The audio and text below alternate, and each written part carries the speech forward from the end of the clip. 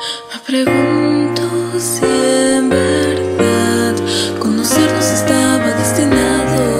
Tú dime qué crees. Me pregunto si también el destino eligió este camino, al igual que aquella vez. Siempre me había envuelto en deseos que nunca se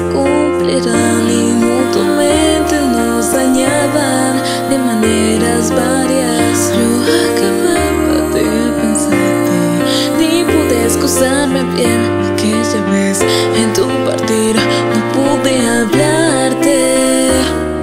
Porque te vi